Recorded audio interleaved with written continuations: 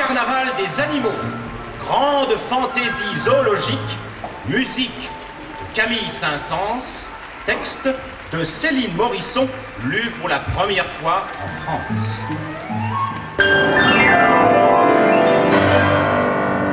Mon col ici C'est quand même très discret. Sous l'eau, l'éléphant ouvrit de grands yeux. Tout un monde lui apparut. Des sirènes aux cheveux d'algues nageaient avec lui.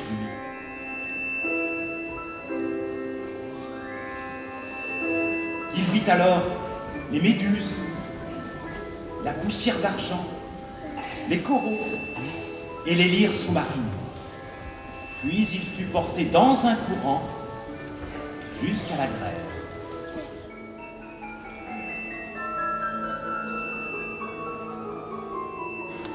Deux ânes qui passaient par là l'aperçurent et s'arrêtèrent pour commenter. À quoi est-ce qu'on reconnaît qu'elles sont sœurs?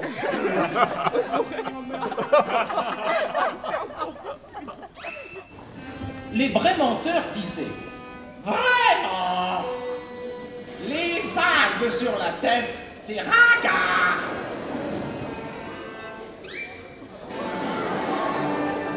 Du côté de l'oasis, le jour se levait. Le coq aperçut dans le ciel des escadrilles qui faisaient des loopings. Au loin arrivait l'éléphant, flanqué du lion et du singe, et la grande tribu. Ils furent tous fêtés comme des.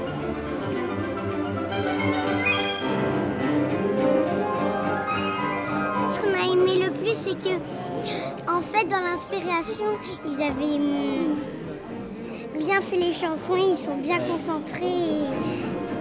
et Avec les peluches, c'était chouette. Ce qui m'a plu le plus, moi, c'est Sirène. Sirène. Le petit C'est là, avec la sirène. C'était le dragon. C'était un dragon, Louise.